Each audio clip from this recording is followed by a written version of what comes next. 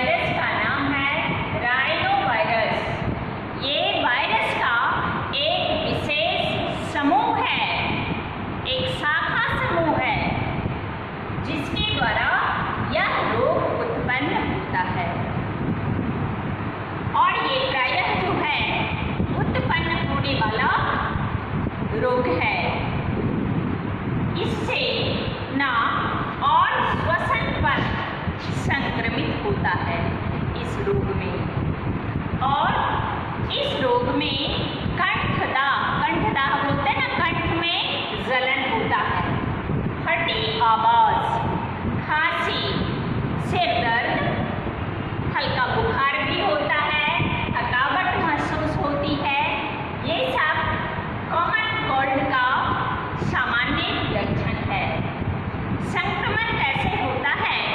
यदि रोगी किसी पेन का इस्तेमाल करता है और स्वस्थ व्यक्ति उसको छूता है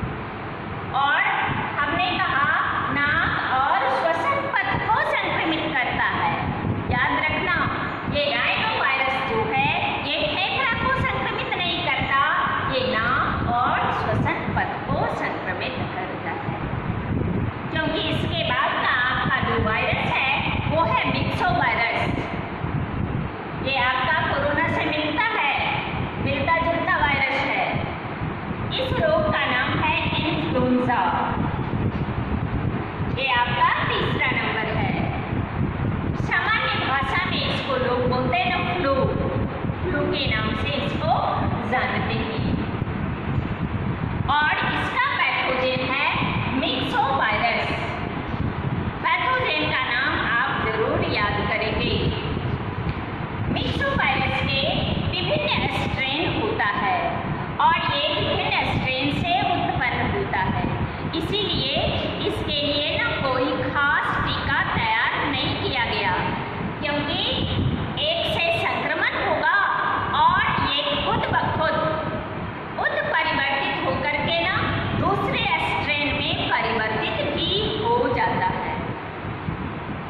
तो एक टीका से अगर टीकाकरण कराया गया तो दूसरे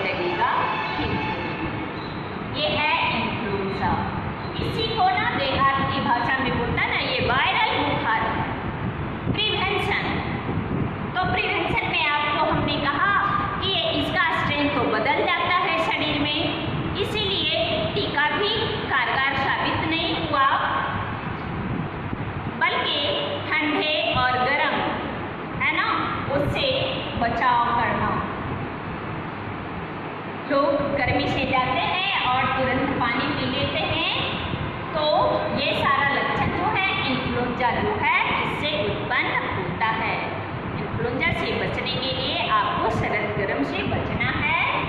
साथ ही साथ बच्चों को भी ठंड से बचा करके रखना है। यही है इसका रूप। और स्वच्छता भी इसका